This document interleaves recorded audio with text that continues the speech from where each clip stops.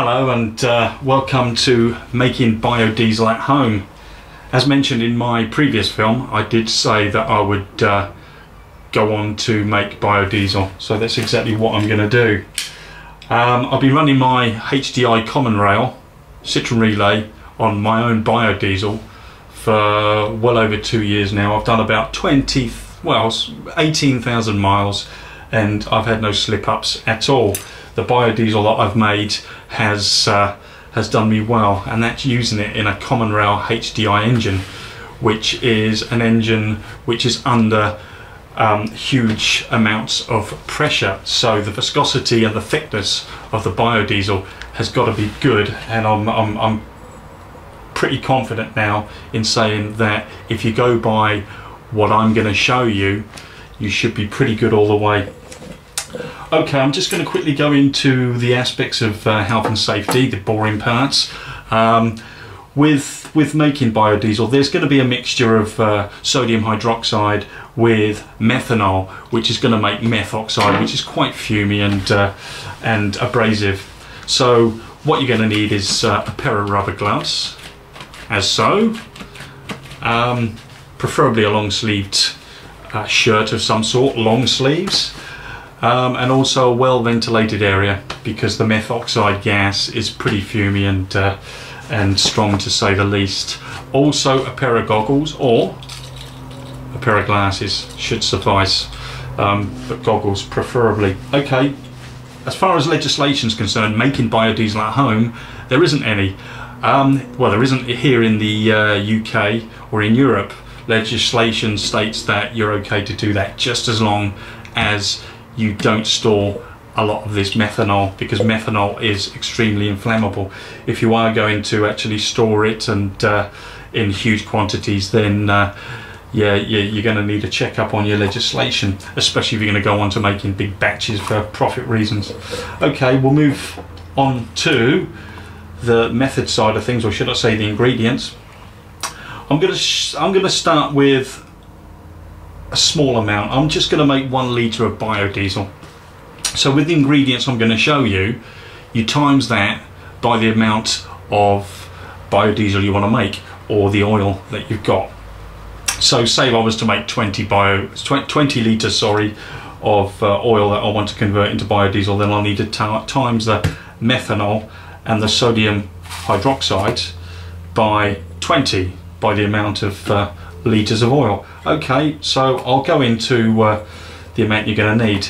Um, for one, okay, we've got one litre of normal cooked vegetable oil, which I get from um, a restaurant up the road for, for pittance. Um, so to that we're going to add 250 millilitres of methanol. Methanol is a little bit harder to get hold of, so you're probably going to have to check online and do a little bit of homework there. Sodium hydroxide, otherwise known as caustic soda, is relatively cheap. You can get this in most hardware stores or plumber centres.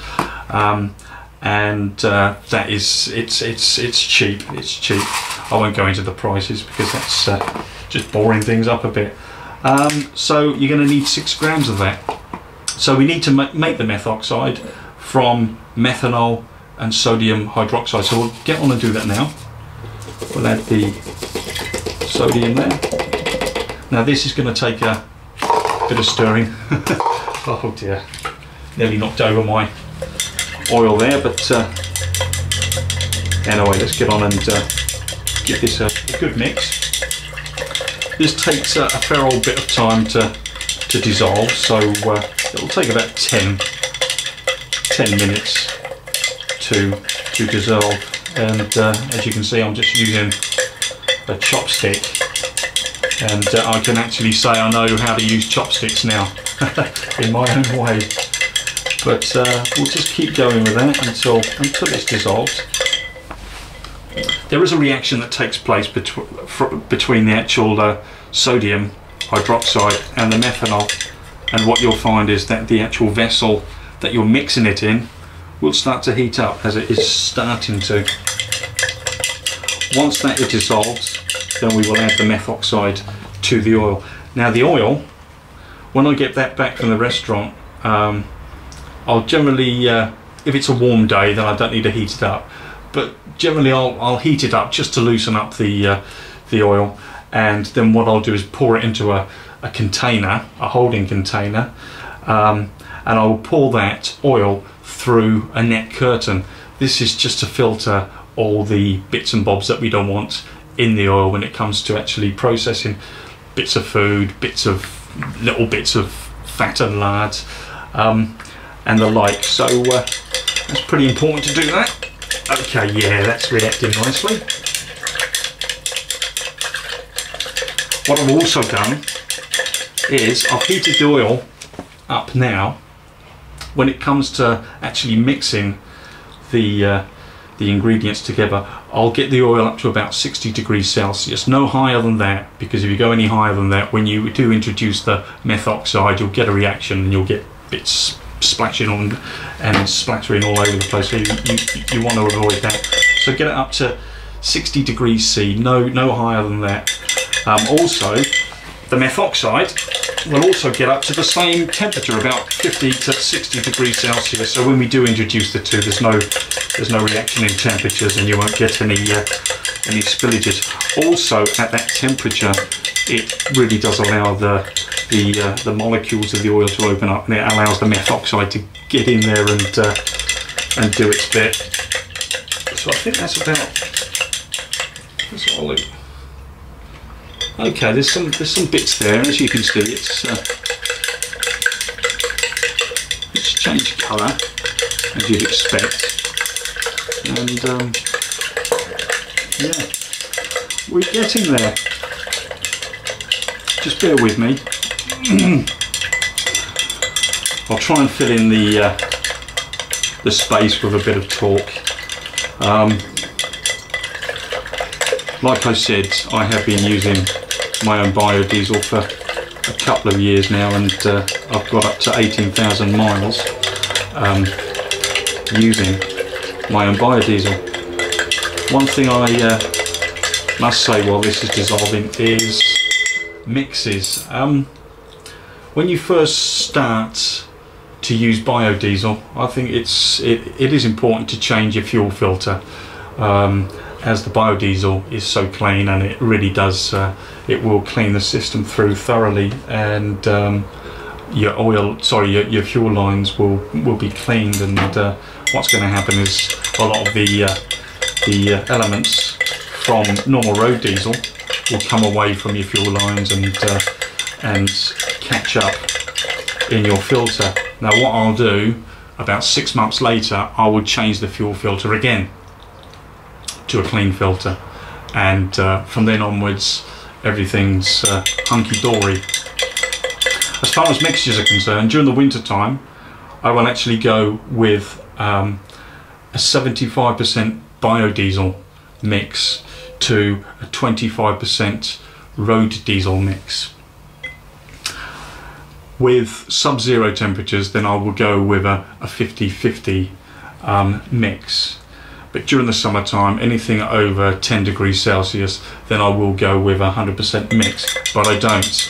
I actually add 20% um, road diesel to 80% um, uh, biodiesel as an insurance just to keep the viscosity down. Now I've run my engine on 100% of this stuff and it hasn't had a problem. I only do that as an insurance to keep that viscosity down no matter what because it's the viscosity that's important really um, as we want that to pass through the jets.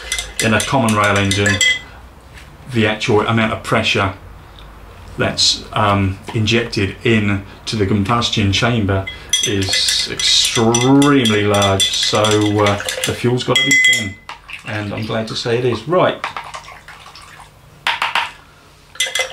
that's all dissolved and now what we're going to do is actually introduce the methoxide. So here we go. Oh yeah, as you'd expect, you're getting a nice reaction straight away. You'll probably see this change colour um, from, well this oil is relatively dirty, I can say um, for sure. So this methoxide is going to get in there and uh, clean it up. Now what's going to happen is through this process, you can probably see it changing colour now. It's actually gone a bit lighter than it did. Um, usually with very clean oil, it will go darker, but with um, with dirty oil, it actually goes lighter, then goes dark again. What will happen is the methoxide will actually get in there and clean out all the amino acids and uh, all the fats and other things that we don't want. And with itself, it will actually fall to the bottom as methanol is water based and as we all know water and oil do not mix. So what happens is we get separation. Now the separation will occur you'll see about 25% of um, oh my word there goes the watch which tells me it's about time I got the rice on anyway that's another story I can uh, I can wait um, so 25% of the bottom which will darken will be glycerin or glycerol. Um, that's a byproduct from the actual biodiesel. I'll show you a bit later on. Um, in fact, I'll show you uh, one in a minute. So what we'll do is just keep stirring that for a good 10-15 minutes. Whilst I'm doing that, I will show you the separation. This is after 24 hours. It's best really to uh, separate the, the biodiesel. As you can see now, we've got the biodiesel um, and there's the glycerin, glycerol, which what we'll do is actually pour the oil off and get rid of that or get, supply it to uh, um, a person who makes their own industrial soaps because you can actually make um, industrial soaps from uh, the glycerin. Um, okay, well, that's that's the process and what I'll do is uh, mix that as I said for 10 15 20 minutes um, okay we'll just let that do its bit for a but we'll go back to the one that I made before. As you can see now there is the biodiesel. I've left that a little bit too long. Um, don't leave the uh, don't leave it to stand too long. About I usually let it stand overnight. Um, and this is this is the color this is this is what you're looking for. And the glycerin down the bottom will actually harden if you leave it for too long. And it's a bit of a swine to to, to get out of the container. So once you've done it once you've left it over overnight get it separated and uh, you won't have problems with the glycerin as that will harden if you leave it for too long. Next process will be actually washing the biodiesel. Okay we've got the biodiesel there but the fact is there's still traces of uh, um, methoxide in there so we need to clean that. And to clean that we're going to wash it. Wash it with water and uh, what I'll do is I'll make a, another video on uh, cleaning washing and containing your biodiesel once you've made it. Okay well any comments or anything that you think I might need to know? Um, because I'll appreciate any hints, handy hints that you may have. If you do make your own biodiesel then please uh, leave a comment.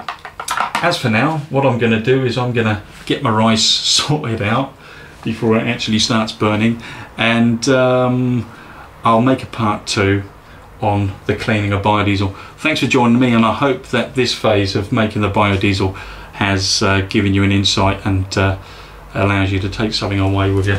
Okay, thanks for joining me and uh, ciao for now. See you in part two. Ciao.